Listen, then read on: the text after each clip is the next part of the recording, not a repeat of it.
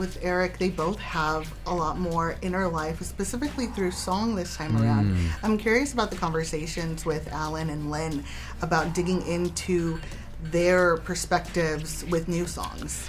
Well, it was great. I mean, listen, I was so lucky that Alan was open to creating new material, and it was incredible to have Lin because Lin is a really close friend, and um, so I had someone I knew well, and uh, to have him, and he's such a brilliant lyricist, obviously, um, and he loves loves Howard Ashman's work on The Little Mermaid. It's really what inspired him to write.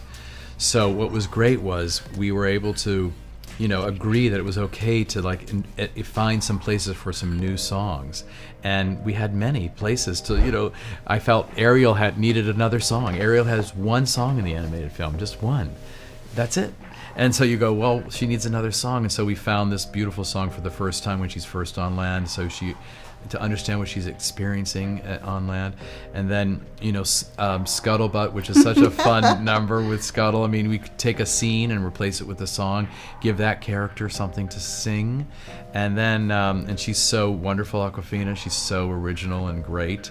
Um, so it was wonderful to give her a, a song. And then, Eric, you know, needed Wild Uncharted Waters. He needed we needed to follow his trajectory. What's his journey? What's his I Want song? You know, and and um, so it, it was it, it was pretty clear as we were working, you know, that we're all from the theater. We all understand how musicals work because we've done a few. So it was really great to be you know with people that you really love, and you have to park your ego outside the door. That's how collaboration works.